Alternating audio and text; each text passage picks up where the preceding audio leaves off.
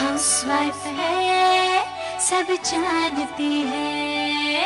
अरे भाई सोना बहू मैं तुम तो रिपोर्टर रह चुकी हो हैं? लेकिन इस घर में क्या चल रहा है उसी की खबर नहीं है तुम्हें? आप क्या कह रहे हैं हमें कुछ समझ में नहीं आ रहा। भाई हमारी तो उम्र कट गई। इंतज़ार करते हुए कि कब कोई चाय लेकर मंडराएगा कब नाश्ता आएगा कमरे में। ऐसा लगता है? हमारी अगली पीढ़ी को ये चाय नाश्ता नसीब होगा है ना? सरला जी आप शायद भूल रही हैं कि आप प्रतापगढ़ में नहीं म्योर रोड में हैं। खैर सरला जी भले ही दूर से सही आप रिश्ते में हमारी समधन हुई। इसलिए आपके लिए ये कायदे लागू नहीं होते।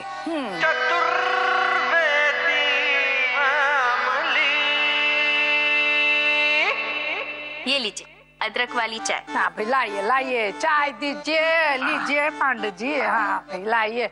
और सोना बेटी वो डॉक्टर साहब ने क्या कहा था रेनू की खुराक के बारे में? चाचा जी डॉक्टर ने कहा आप क्या मंडली लगा के बैठ गए ये? हैं? हमारी देविका बिटिया को चाय चाहिए कि नहीं? हाँ। फिर हम्म, लेके जाइए चाय उसके लिए। जाइए जाइए दीजिए दीजिए चाय दीजिए भाई। ये ये लीजिए ले लीजिए देविका बिटिया के लिए चाय लेके जाइए नाश्ता भी भिजवाते हैं हम हाँ? हमारे लिए भी भिजवा देना। हाँ।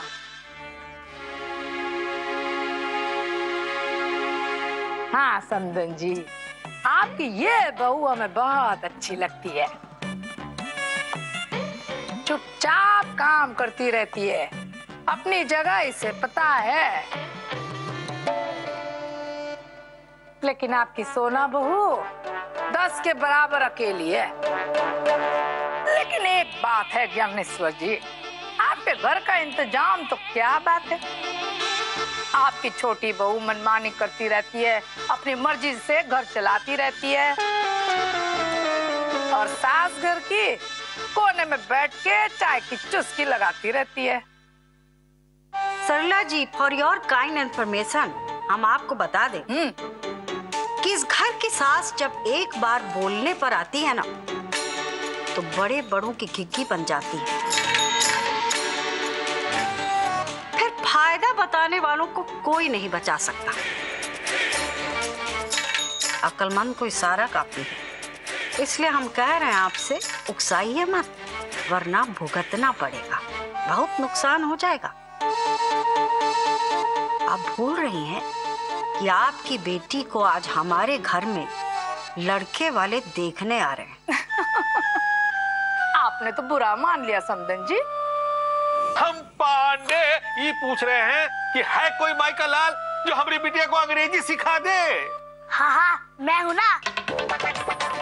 मेरी मम्मी का रेड और पापा का येलो। और अभी बनूँगा देवी का मौसी का ग्रीन सिग्नल देवी का मौसी को मैं सिखाऊँगा एकदम वोकल टाइप इंग्लिश अच्छा? फटाफट अपने दिमाग की बत्ती जलाइए और हमें बताइए कि हमें कैसे पता चला कि आप उदास हैं। अपनी मियाँ को मिस कर रही ठीक है। बताइए आपको कैसे पता चला? यही तो बात है सोना जी। देखिए क्या है हमने एक आपके नाम की घंटी अपने दिल से अटैच कर रखी है। बस तो जब भी कोई बात आपको नहीं आती रास आप होती उदास तो बस घंटी जो है टनन टन टन टनन टन टन टनन टन करके बजने लगती है। अच्छा सुनिए लड़के वाले खाने पर आते होंगे और हमें बहुत सारे काम हैं।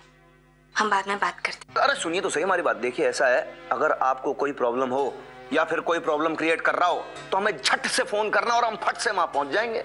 पक्का। रखिए। सोना बहू ये क्या चल रहा था बाहर? वो लोग जैसे भी हैं। है तो हमारे मेहमान। ये चतुर्वेदी फैमिली की इज़्ज़त का सवाल है। वो जो भी मांगे उन्हें बिना पूछे दे दिया जाए। कोई शिकायत का मौका नहीं मिलना चाहिए। जितना मुँह बंद रखोगी ना घर में उतनी ही शांति बनी रहेगी।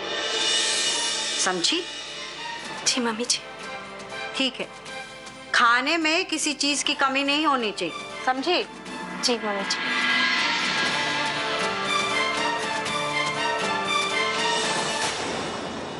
हाउसवाइफ है सब जानती है।